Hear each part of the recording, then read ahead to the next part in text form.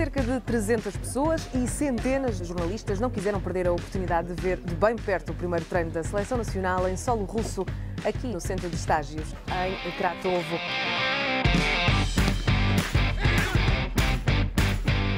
Cristiano Ronaldo tem sido um dos mais aplaudidos, na esperança, quem sabe, estes jovens russos poderem ter uma fotografia ou então um autógrafo do melhor do mundo.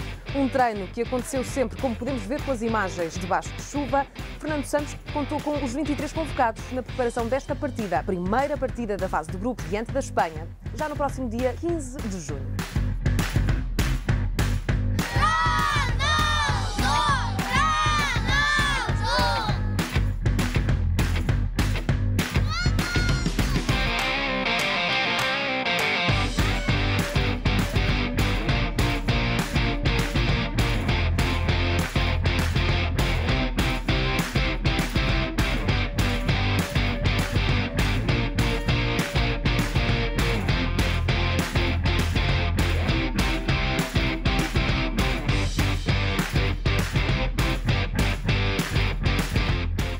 Chegou ao fim o primeiro dia de trabalho da seleção portuguesa aqui no centro dos estádios em Kratovo. Foi uma autêntica loucura aquilo que aconteceu em torno deste primeiro treino, treino aberto da equipa das esquinas. Muitos jovens conseguiram aquilo que tanto queriam, um autógrafo ou uma fotografia com os seus ídolos da seleção, nomeadamente Cristiano Ronaldo, também Pepe, Ricardo Quaresma, João Mário, todos eles vieram até aqui às baias junto à bancada, onde todos esses jovens russos puderam ver bem de perto estes jogadores da seleção nacional e desejar-lhes boa sorte para este Campeonato do Mundo.